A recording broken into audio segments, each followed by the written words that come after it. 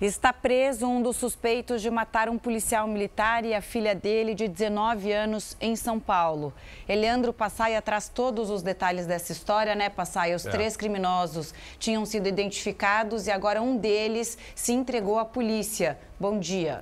Oi, Camila, bom dia para você, minha amiga. Vem cá que eu te dou todos os detalhes. A polícia divulgou essas fotos dos três suspeitos. Ontem nós mostramos aqui na Record. Fala Brasil também divulgou todos esses retratos. E aí, o bandido se apresentou à polícia dizendo que estava com medo, mas que ele não tinha feito nada. O que, que ele queria dizer com isso?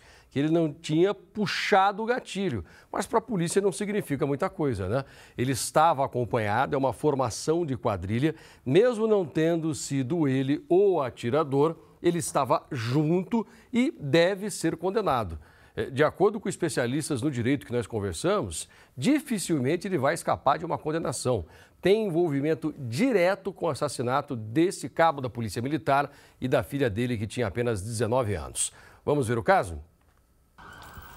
Douglas Henrique Pereira de Jesus, de 30 anos, chegou à delegacia em meio à confusão, acompanhado do advogado. Os familiares entraram em contato, né, as, as imagens dele foram divulgadas e, e a família orientou ele a, a colaborar com a justiça né, e decidiram entrar em contato comigo para fazer a apresentação, para as investigações seguirem, né? Além de Douglas, Diogo Damasceno dos Santos, de 27 anos, e Erivaldo Aparecido de Lima, de 47, são suspeitos de assassinar o policial Anderson Valentim e a filha dele, Alícia, no último fim de semana. O crime aconteceu no estacionamento de uma farmácia, na zona norte de São Paulo. Dos três, dois já cumpriram pena por roubo. Nas imagens que registraram o crime, o rosto do atirador não aparece com clareza mas impressões digitais ajudaram a polícia a chegar aos nomes dos suspeitos. Os peritos conseguiram levantar fragmentos né, de impressão digital no veículo utilizado no crime e com auxílio do IRGD foi rapidamente identificado a qualificação de três indivíduos envolvidos. Um deles, o Douglas, que é detido nessa data. Segundo a polícia, os três suspeitos foram vistos juntos no dia anterior ao crime e seriam responsáveis por uma série de assaltos na região. Apesar das imagens e das impressões digitais, Douglas Henrique nega qualquer envolvimento com as mortes. Nesse primeiro momento, ele não consegue passar a versão dele.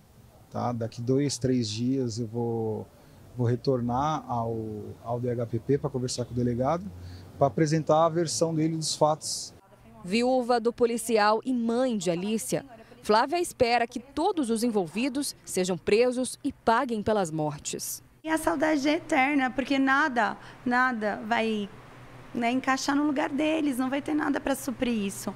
Cada um foi único, não tem como. A mulher convive com a saudade e atualmente tem dificuldade até para dormir.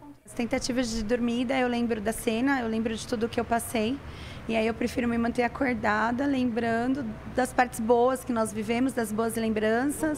O secretário de Segurança Pública de São Paulo, Guilherme Derrite, se solidarizou com a família.